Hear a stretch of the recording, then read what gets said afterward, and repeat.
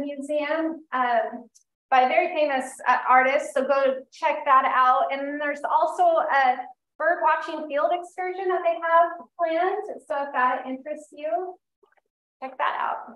All right, so about our speakers. So this is Dr. Jamie DeRollo, and she um, returned to her alma mater, MJC, in 2016 as our head athletic trainer and faculty member. So teaching sports uh, medicine students and providing healthcare to the 21 athletic teams has been her dream job. Prior to that, Jamie was the head athletic trainer at San Joaquin Delta College for almost nine years. She has worked in the high school and clinic settings and has the opportunity to work at the World Special Olympics in Los Angeles. Jamie completed her doctorate of athletic training at Temple University, where she focused her critically appraised topic on mental health, medications, and the neurocognitive effects on sports performance. She also earned a teaching and higher education certificate from Temple University, and she earned her master's of business administration from South University in healthcare administration and graduated from California State University, Fresno with, with a bachelor in kinesiology with an emphasis in athletic training. Uh, before Fresno, she played soccer right here at MJC, where she was introduced to the athletic training profession. So join me in welcoming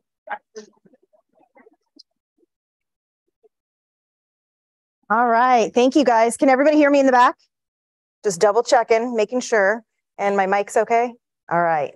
So thank you guys very, very much for being here today. Um, I'm really excited to be able to present to you some environmental considerations that we deal with in everyday life, but also in sport. So a little bit of an overview um, of the different topics that we are going to present on or that we're going to touch base on today is hyperthermia and hypothermia. Okay, so hyper, those of you that are in the science realm, hyper meaning increase, so heat illness, and hypothermia, cold illnesses. Okay, um, we will talk about altitude, altitude sickness, and how that affects sports and sport performance, sun exposure, lightning. I don't know if you guys were here, but about uh, now five weeks ago, our very first home football game, we had a lightning delay. So we ended up with two timeouts, not really, but, or two half times, but, um, and we'll go into that shortly. And then air pollution and circadian dysrhythmia. A lot of big fancy words. Anybody ever been on a plane? Yeah. Ever heard of jet lag? Okay, so that's exactly what that is. It's messing up your circadian rhythm.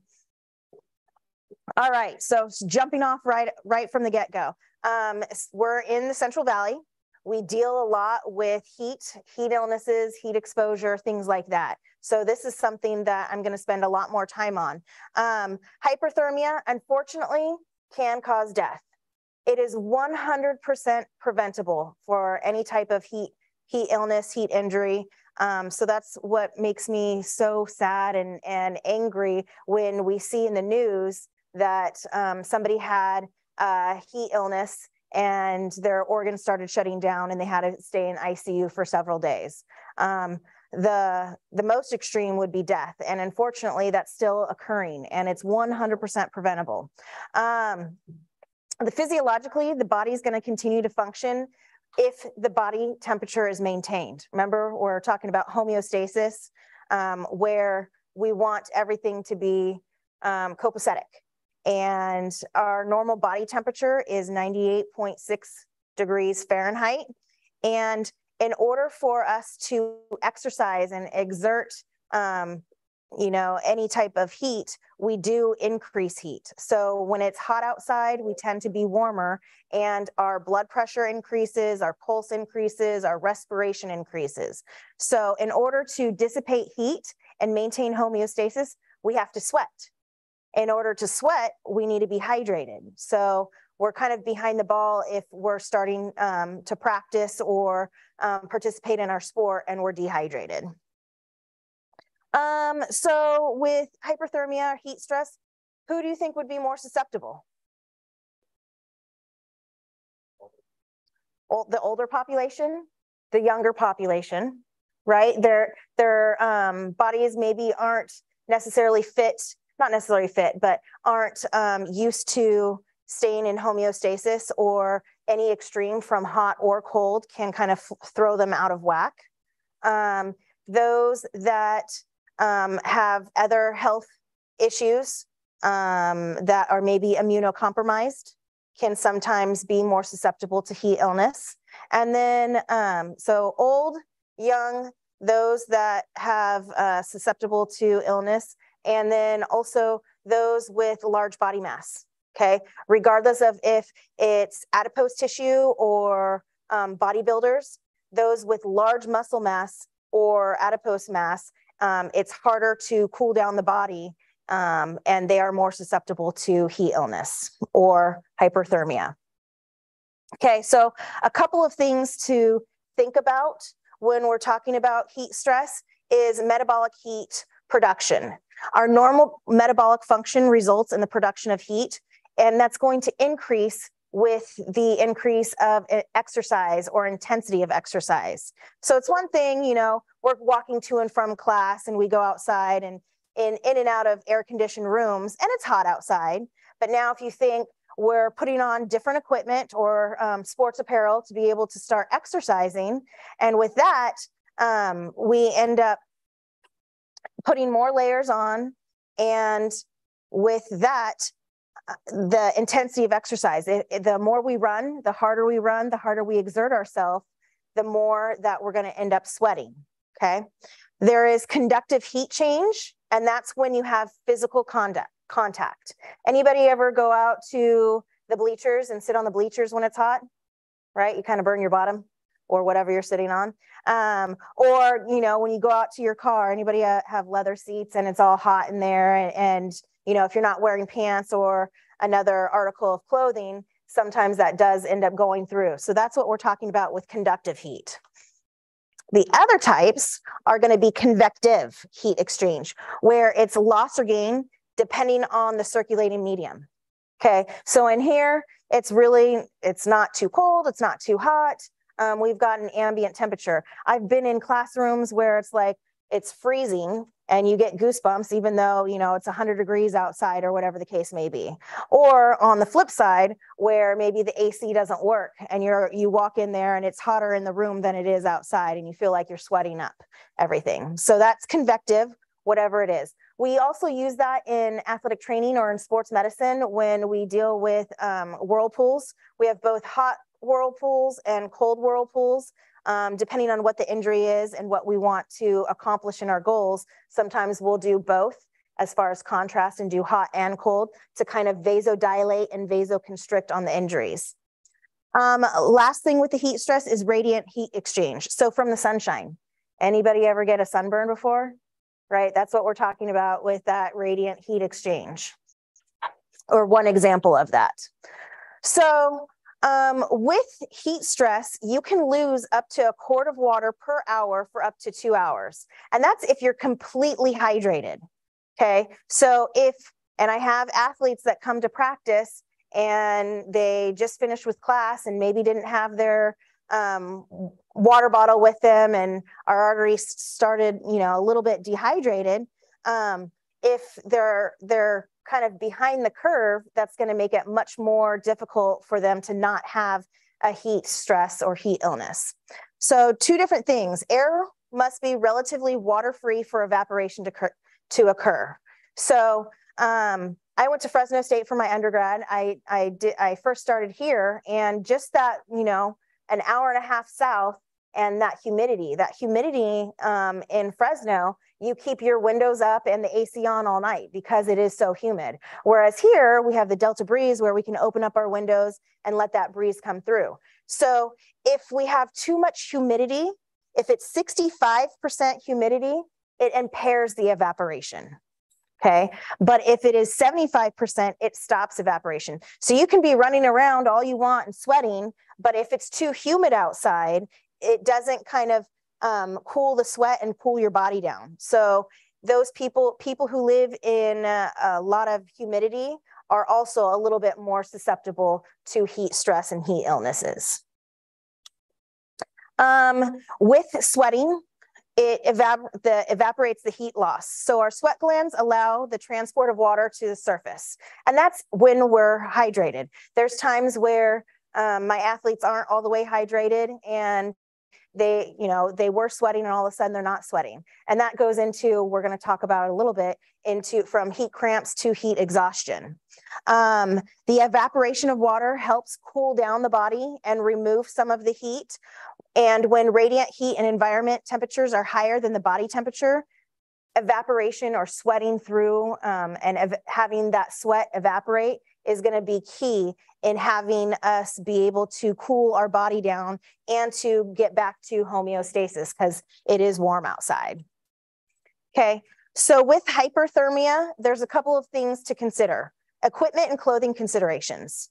So I work in the sports world. We have 21 sports here at MJC. What are some equipment that some athletes will wear? Huh? Warm-ups. Warm-ups, they have their, their warm-up jackets, right? What about, um, what do they wear? What do catchers wear in baseball and softball? All that padding, all that catcher's gear. They wear helmets, they have their um, chest, they have their, their leg braces. Um, and then also think about in football. What are they wearing in football? Shoulder pads and helmets. Okay. So they have all that additional equipment on, and most of our um, body with sweat evaporates through our head, hands, and feet. It can evaporate from everywhere, but we dissipate most of our heat through those. So one of the things that um, we tell, especially in football, is take their helmets off during water breaks. That way, their the sweat from their their hair and all around their face can help kind of cool them down, um, and that will help in that aspect. So, equipment and clothing considerations. Um, maybe they're wearing a ton of layers because it was cold outside, but they're warming up and they're starting to get warm. Um, sometimes they they kind of fight within themselves as far as oh, do I want to wear um, long sleeves or do I want to wear short sleeves? It's going to be hot, it's going to be cold, things like that. So they're taking into consideration their equipment and their clothing. Um, dehydration. So I already talk with all of our student athletes, and when they have game day, game day is not the day to worry about hydrate. Yes, you, you need to worry about hydration all the time, but in order to be fully hydrated, you need to start about 48 hours prior to that event. And I always tell all my athletes, look at the color of your urine. So look in the toilet, see what color it is. If it's, you know, Gatorade, lemon, lime, orange, or, or yellow, that you're not necessarily as hydrated as you can be. It should be light yellow, almost clear. Um, and that's one thing that is a good guide for them to measure. If it's brown or you're you're drinking a lot of caffeinated beverages or um, in sports, there a lot of times what they're dealing with is um, pre-workout. Um, and that also can affect their hydration status. Um, and then for hyperthermia, we're gonna go over heat cramps, heat exhaustion, and heat syncope or heat stroke. And each of those have definitive signs and symptoms that we'll talk about and make you guys aware of. That way if um, you know you're out outside and it doesn't happen just to athletes it happens to everybody.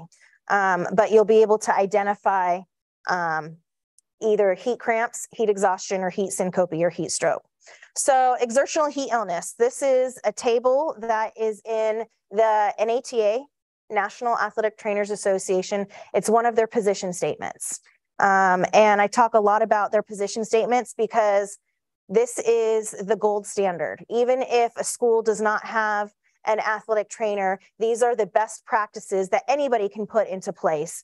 Um, this one just happens to be of the exertional heat illness. Um, so, like I said, there's heat cramps, heat syncope, and then heat exhaustion and heat stroke. So I'll go into more of this in a little bit, but I wanted you guys to have a little snapshot. Um, and it's from least severe to most severe. So with heat cramps, a lot of times you'll see anybody watch professional sports, right? Um, sometimes you'll see them run out on the field and you see them stretching the calves. That's usually the first indication of heat exhaustion. Uh, I'm sorry, heat cramps going into heat exhaustion, um, where our extremities start locking up.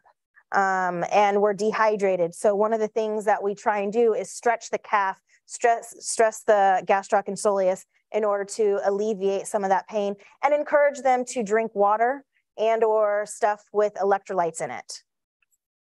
Um, heat exhaustion is the next one, and it's a little bit more severe than the heat cramps, but not nearly as severe as heat stroke. And each of these have different um, core body temperatures. So um, it's not on this sheet, but usually um, heat cramps, you can still be the 98.6 degrees Fahrenheit. When we're getting into heat exhaustion, it's about 102 to 104 degrees Fahrenheit. And then heat syncope or heat stroke is going to be 104 degrees or higher. And that's when your organs are starting to shut down. Um, they're too hot for them to be able to function. Also, if you guys have any questions, feel free to reach out or you know raise your hand, or um, if you want, jot them down and I can answer at the very end. Um, so heat, preventing heat illness. I would like to say it's common sense, but it's not common sense for everybody. So we shouldn't really talk about common sense. But um, precaution, make sure we're consuming fluids. I talk about hydration. Your urine should be a clear color, light yellow. Um, you should start hydrating two days before your big event or your sporting event, whatever it is.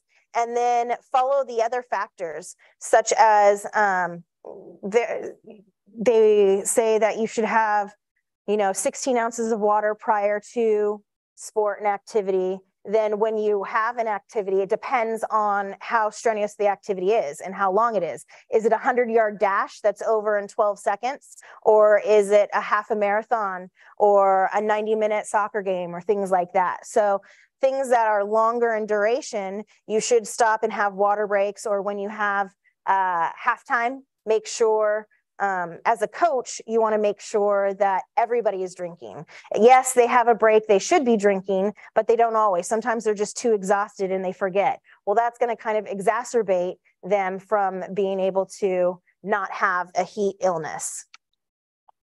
So, this is what I was talking about with the position statement of exertional heat illness. Um, it talks about heat cramps, heat exhaustion, and heat syncope or heat stroke.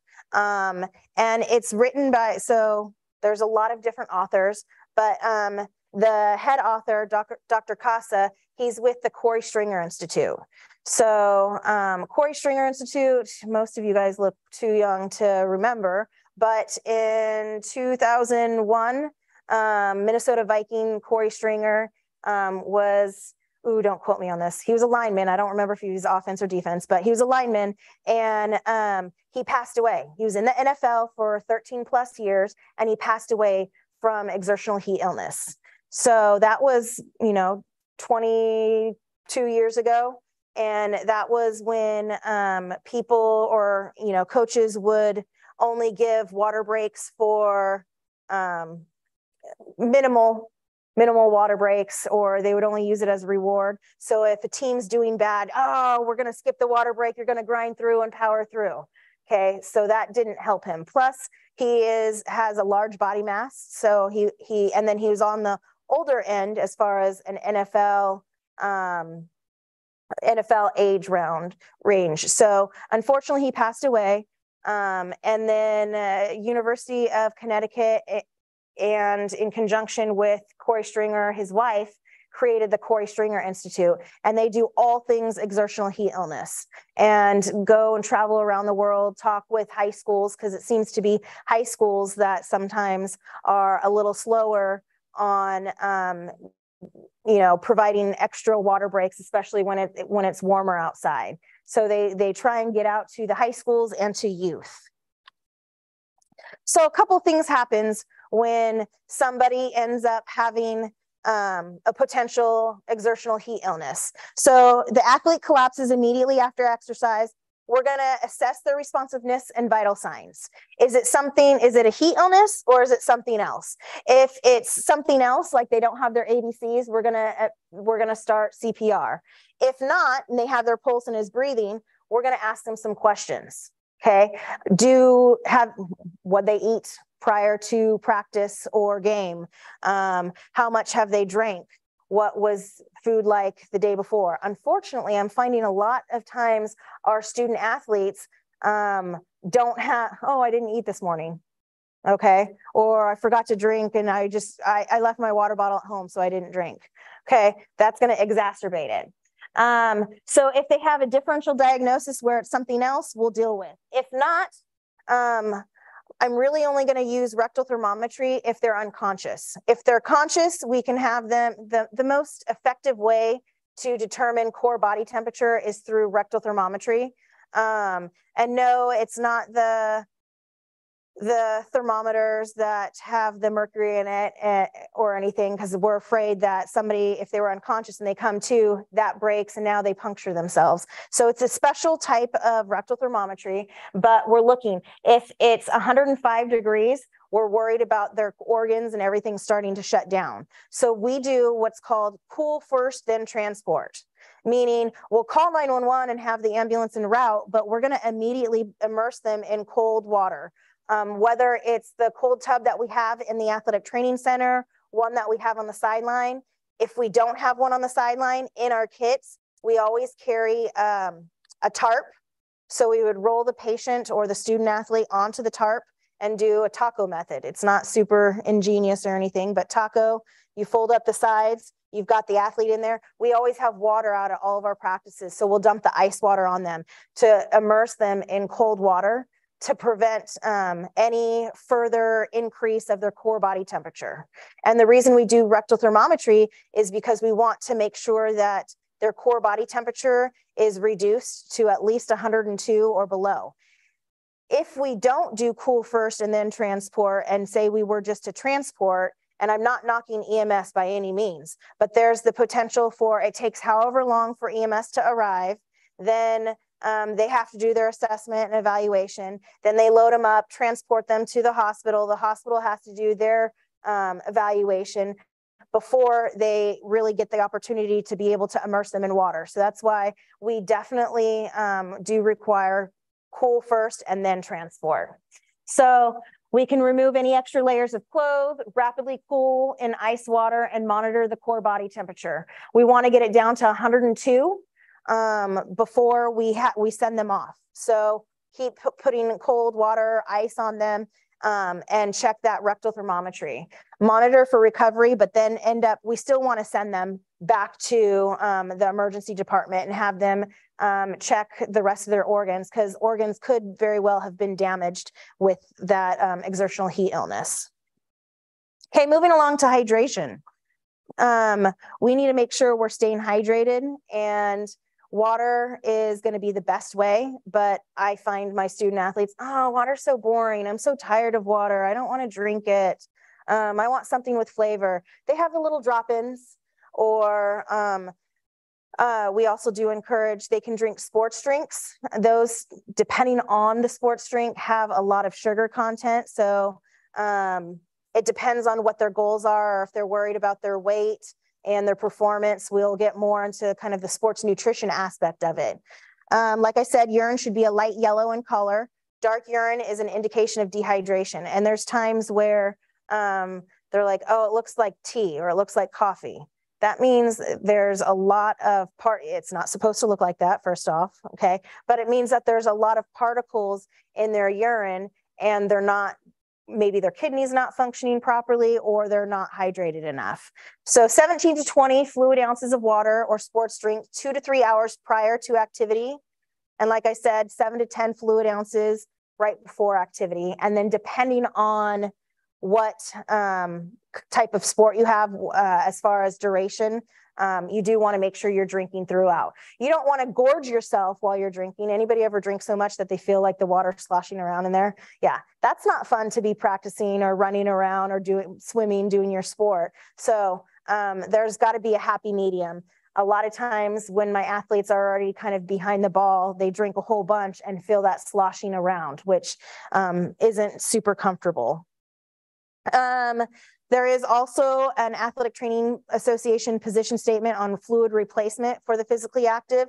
And that's where I got these numbers from as far as for the 17 to 20, 7 to 10, 10 to 20 minutes before. Um, it does talk about, it breaks it down to specific sports. Um, and if you guys are interested in that, I can give you the links for that. Um, dehydration. So mild dehydration occurs with as little as 2% of body weight is lost. Okay. So for um, my 100 pound cross country athlete, they can lose two pounds within their um, practice and they're already starting to be considered dehydrated. Now it's a little bit more with say my my linemen that some of them are 300 plus, and um, so there's a little bit of more wiggle room when we have a higher body body um, weight content. But as little as 2% is going to talk about mild dehydration. So with that, we want to make sure we're educating them. When we do have water breaks, we're encouraging them to make sure that they do drink um, because when we are dehydrated, it impairs cardiovascular and thermoregulatory responses. So when you feel thirsty, you're already dehydrated. That's one of the later signs and symptoms. But dizziness, dry mouth, irritability, excessive fatigue, and then possibly cramps. Stereotypically, we get cramps in our calves, but sometimes we have people who get cramps in their forearms. Um, happens more often in my gym, um, my indoor sports, so like volleyball, basketball, sometimes wrestling, they'll get cramps in their forearms and their calves. Whereas stereotypically, most of my outdoor sports, it's usually just the calves. Um, we want to try and use common sense and move them to a cooler area. If it's outdoors, move them to the shade or bring them into where there's air conditioning. Start removing any of those extra layers, like the shoulder pads, like the helmets, um, things like that. And then um, uh, return to normal weight and absence of symptoms. So we will give them usually a 16 ounce bottle for every pound of water that they've lost. So during the summer, when we have double days, um, for football, for cross country, for a lot of our sports. We'll weigh our student athletes, um, and it, it's it's all private. It's not like we're putting everybody's weight out there. Um, some are more sensitive than others, but we will weigh them before practice in whatever they're wearing. So usually like with football, we tell them don't wear your cleats, your shoulder pads, or your helmet. Get on the scale, write it down. And then when they're done with practice, same thing, no cleats, helmet, or shoulder pads, get on the scale. Sometimes I've had people lose up to eight pounds. Those are my bigger linemen, but sometimes it's one to two pounds. So with that, we'll encourage them to drink one bottle of water for every pound that they've lost. Um, that doesn't work out, you know, 100% with everybody, but it's a good indicator and a, and a good rule of thumb for um, especially double days when they're starting to get acclimatized to their sport, when they're starting to get used to um, those practices and, and exerting themselves so much. Um, fluid and electrolyte replacement. So the body requires two and a half liters of water daily with minimal activity. Okay, two and a half liters with minimal activity. Now you figure my baseball athletes who are practicing from one until six, six thirty, whether it's in the weight room, out on the field, doing, and I'm sure it's longer than that, but I one o'clock is when they're they're supposed to start. I know there's early outs and things like that, but um, it, for somebody who is exerting themselves so much more, they need more than just that two and a half liters of water. An adult will typically lose about one and a half per hour. And like I was talking about, remember that 2% drop in body weight is going to cause them to be thirsty. So they're already starting with that mild dehydration. So these are things that we want to think about. Um, if thirst is ignored, dehydration will further compound. And we've had people who vomit, um, nausea, they faint, and they're at increased risk for heat illness. So um, if they they are dehydrated and they're not they don't have a lot of stuff or fluid in their stomach a lot of times instead of vomiting they'll do the dry heaving. And that definitely um, is not fun. And sometimes when you have a team sport they end up dry heaving next to each other and not making a pretty scene so sports drinks flavors will increase their desire to consume more fluids um, there's a ton of different sports drinks. Some have more sugar than others. Um, it will replace fluid and electrolytes. Water alone can prematurely stop thirst, but um, isn't necessarily going to satiate them.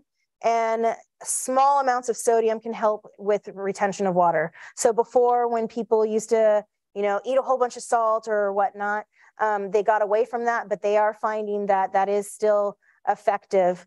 Um, and sometimes we'll put some salt in into water for our guys that are um, cramping a lot. We we know usually by game two, game three, who our habitual crampers are. So usually we'll have um, special water bottles made for them um, to hopefully minimize that. Even though we harp on them, you know, and they do tell me, "Hey, I've been drinking all the time. My my pee is clear. I they just happen to cramp." And that's fine. We'll just work with it and try and keep them as healthy as long as we can so they can participate in their sport. Um, more sports drinks, they have different nutrient levels. So um, one of the things that I tell my athletes who are um, they don't want a lot of sugar content and they, they're worried about their performance and they don't want that kind of sugar crash that some sports drinks give them. Um, Pedialyte Okay. Pedialyte now, um, I would want to say within the last six months, have been advertising to the sports industry. We've been using that for forever, where go in the, the children's section um, and get Pedialyte. Um, and we have athletes drinking those on game day. So um, they're um, not super abrasive for the stomach. They don't have a high sugar content, and they do help replenish electrolytes um, exponentially. So Pedialyte is something that I do highly recommend. Um, more carbohydrates result in slower absorption. So think of what did they have for breakfast or for dinner earlier? Was it high in carbs? Maybe that's why they're not absorbing um, the electrolytes like they can be. Um, but it is the sports drink are effective for both short-term and long-term um, endurance activities. So before when I was talking about the half marathon person or the 100 yard dash, it's, it's good for everybody. Acclimatization. So um, we're fortunate, we're at a community college. We don't travel too, too far for any of our different sporting events. Um, when you're at a four-year level or at a higher competitive level, usually they're traveling out of state. So one of the things that we want to do is try and get them acclimatized to wherever they're participating. So um, a couple of things that they can do. If you can travel there, you know, a day or two in advance, that would be great. But realistically, I'm working at the community college level they they get a couple of hours you know? Um, it's usually a day trip here and there but it's nice. It's not too far. It's not like we're traveling out of state. Um, with this acclimatization um, think of altitude think of the weather think of um, whether it's hot or cold um, things like that. 80% of acclimatization can be achieved in the first five or six days with two hour morning and afternoon practice sessions. So when we start our double days with any of our sports, um, we do have a handful of athletes that maybe are coming from out of state. So we are really conscientious and we do have those um, weigh-ins as far as for dehydration um, to check on them, but also, and we check on everybody, but also just doing another check-in you know, we've had somebody from Oregon and Washington where they're used to a lot of rainy weather and they're not used to the valley heat. So it's kind of almost like a culture shock when they come here and, and they have much warmer weather. Um, but we try and split up our practices to have morning and if possible later evening where it's cooler in the day for those acclimatization um, processes. Um, so a couple of different things. Days one and two, we're uh, don't we don't have them. So with our football guys, we don't have them wearing their equipment. Um, usually we're doing single three hour practices or one two hour practice and one one hour on the field. Um, sometimes we break it up where they're watching film and then they go to the weight room for one practice session and then the other practice session is they're out on the field. So it, it kind of breaks it up and it starts getting them acclimatized. Um, days three and four will start having their helmets and shoulder pad. Day five um, they can wear everything. And then um, after day five where they should be pretty close to being acclimatized acclimatized and we'll notice that in their charts as far as their weight charts. They're not having that eight to ten pounds of um, weight loss in one practice session that they did on day one and day like six. Instead of that eight pounds it were at like two or three. So they're getting more and more acclimatized or they're drinking more water um, preemptively um, for that susceptible individuals so for um, acclimatization, those uh, with large muscle mass, those that are really are older, those that are younger, and then overweight. So death from heat stroke increases four to one as body weight increases. And that's it's it's a crazy statistic. And that's one of the things that's in the acclimatization position statement. Um, and those that have poor fitness, history of heat illness or febrile conditions, the young and the elderly. Okay, so those that have poor fitness, um, we get those too. Believe it or not, yes, we're in sports, we're in athletics, but um, they finished their high school season and then maybe were a couch potato all summer and then came back and they're not necessarily fit like they were a couple months prior. So we do get those that aren't necessarily in the best of shape, and we just have to progress them a lot slower with these environmental conditions. Okay, heat index. So we've talked a lot about hydration. Um, looking at the heat index, so um, sunshine, what the temperature is, what the um, humidity level is, is all going to play a factor into environmental considerations, especially in sport. So one of the things we use down at the bottom is a wet, wet, wet globe bulb temperature where um, it's not it's much nicer now where you just press an electronic device and it calculates it for you back 20 years ago when i was a student we'd have to use a sling psychrometer where um, we would have basically two mercury thermometers one has a wet um, gauze over it, the other one's dry, and you would swing it around your head for 60 seconds and measure that. Okay, so it's so much easier now, um, but we take these things into consideration.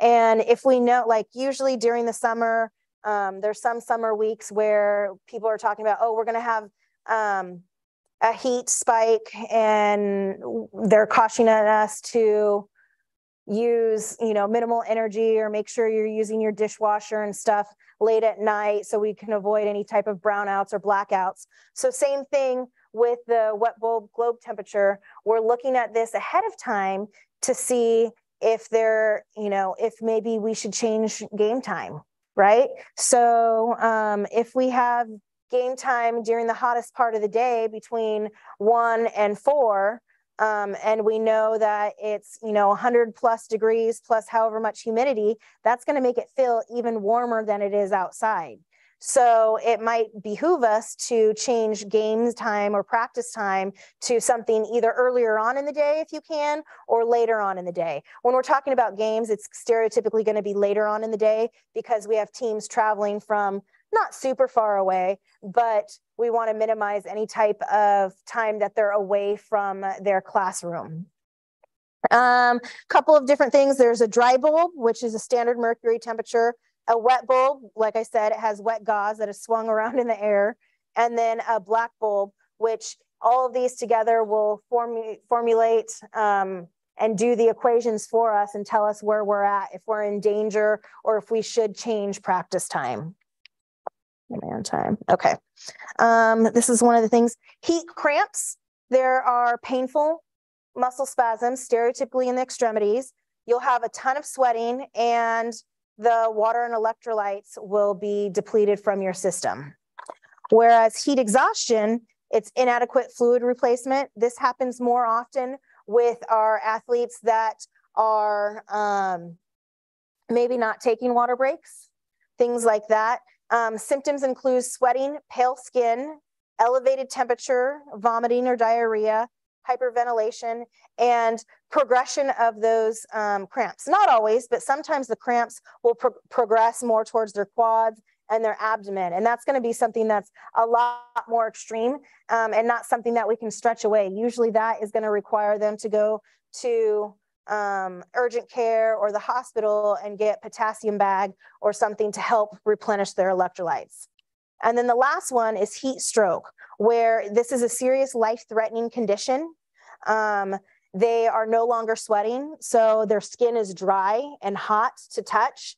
Um, and um, they don't have the sweat anywhere on them. So that's another huge red indication and red flag that we're worried about for um, anybody who has any type of heat illness.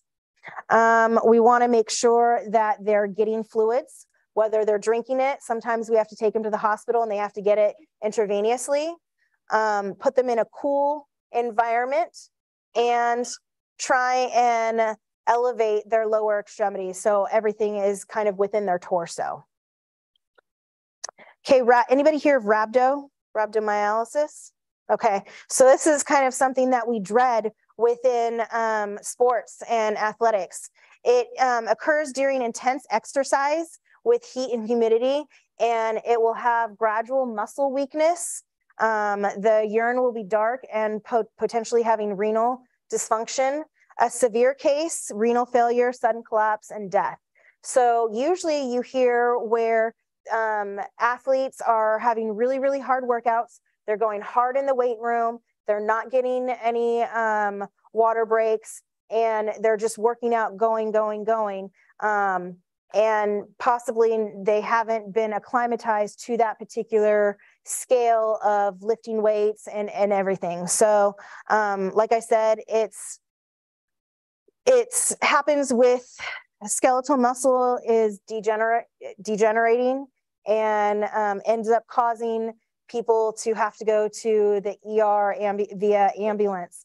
Um, unfortunately, we have it, we don't have it, but um, you see or hear about articles where it's like um, six people from a softball team or seven people. It's usually in groups, and that's just because um, they're they're working out so hard and not giving any type of relief or break. Hyponatremia, so hypo, remember, is lower, but this is a little different. This one is too much water intake. So hyponatremia is a fluid and electrolyte in, imbalance, and it means there's not enough sodium within their um, fluid. So um, there was something, this is dating myself, but um, when the Nintendo Wii came out, probably now 12, 13 years ago, whenever that was, um, there was a radio station, actually it was somewhere local, and they had something where don't pee for the wee, where they tried to see how um, all these contestants would drink so much water, and the, and if you peed, you would not get to, to win the Nintendo Wii. So a lady actually ended up passing away from hyponatremia because she drank so much water and her sodium potassium pump became out of whack um, and she had exertional hyponatremia where she drank so much water. They start getting a headache. Um, there's not enough sodium within them, and it their organs start failing and, and um, shutting down. So progressively worsening headache, nausea, vomiting, and then swelling of hands and feet. Um, and then their their personality, they start getting agitated and things like that. Um, cold injuries. So this is one of the, I, I'm doing cold injuries and then lightning.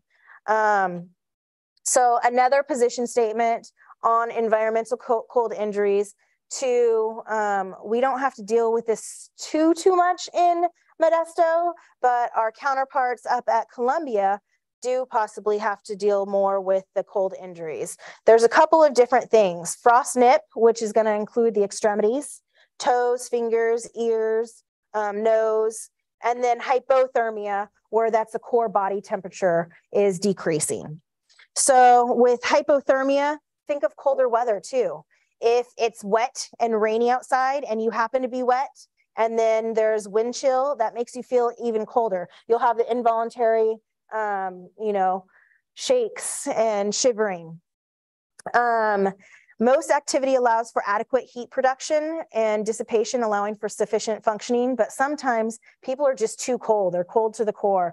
And that's when we want to kind of, again, using common sense, bring them into a warm place, take off any wet clothes, replace it with dry towels or um, dry blankets and try and warm them up. Um, so when you deal with wind, wetness, chilliness, it can increase the chances of hypothermia. So 65% of body heat loss through radiation and 50% of that is through the head and neck. Remember before when I was talking about with heat illness and we have them take off their, their helmets and stuff, same thing with cold. So we might wanna have them wear a hat or um, a beanie or something like that. 20% of heat loss is through evaporation, and most of it is through the skin, although a third of it is through respiration. So anytime our core body temperature, remember before I said um, we're at 98.6 degrees Fahrenheit. So when we get below 90 degrees, um, we start to shiver. We have that involuntary shivering. When it gets below 85, so 77 to 85, death is imminent when our core body temperature falls below there because our at the cellular level, it's starting to freeze um, and shut down our organs. This is the cold temperature where we're talking about how many minutes. So right here at the top is what degree in Fahrenheit it is. And then on this axis is wind in miles per hour. So if you know we're at zero with five mile hour wind, um, we frostbite is usually a little bit longer than 30 minutes. But we want to minimize any type of that um, from occurring because we don't want that to happen. So make sure we're wearing appropriate gear. Um, waterproof and windproof fabrics are definitely going to be positive for that and making sure that we have layers. We can adjust our layers as far as, oh, I'm too hot, I'm too cold. So those are things, it's always good to have layers and you can adjust accordingly. Um, altitude, okay, so um, again, we're not dealing too, too much with this, but when we go up the hill, maybe to Yosemite, um, and hiking up there, it can and does affect some of our student athletes. They go up there for team bonding and things like that. Um, most events don't occur at extreme heights, but it can um, affect the oxygen intake that they have. There's going to be fewer red blood cells than necessary to, to adequately capture the available oxygen.